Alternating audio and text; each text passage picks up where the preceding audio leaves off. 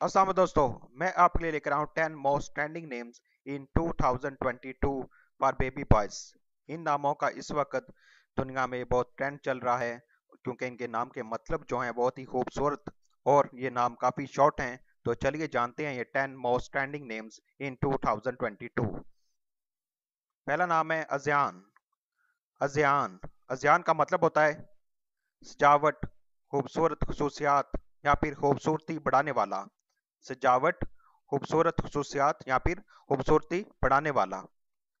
Next name है एदीन एदीन एदीन का मतलब होता है रोशन ख्याल, रोशनी या फिर साफ़ दिल। रोशन ख्याल, रोशनी या फिर साफ़ दिल।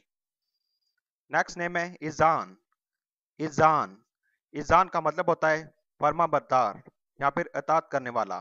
फर्मा बरदार या फिर इतात करने वाला।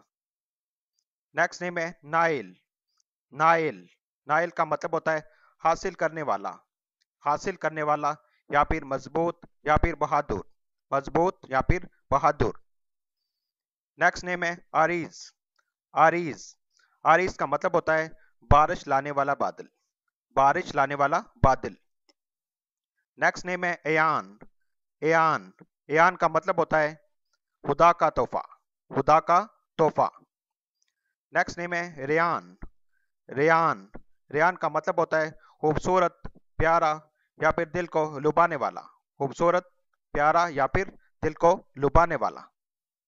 नेक्स्ट नेम है जियान जियान जियान का मतलब होता है खूबसूरत चाँद, मेहमान नवाज़ या फिर हसीनो जमील।